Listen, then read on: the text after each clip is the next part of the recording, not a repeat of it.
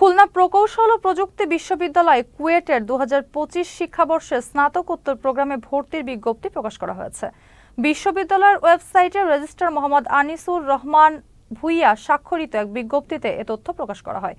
অনলাইনের মাধ্যমে আবেদন করা যাবে চার ডিসেম্বর থেকে চোদ্দ ডিসেম্বর পর্যন্ত ভর্তি পরীক্ষা এগারোই জানুয়ারি দু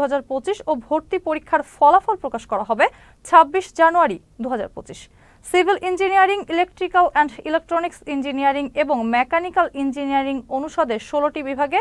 এক হাজার পঁয়ষট্টিটি আসনে শিক্ষার্থী ভর্তি করা হবে এবার ভর্তি পরীক্ষার ফি নির্ধারণ করা হয়েছে এগারোশো থেকে বারোশো টাকা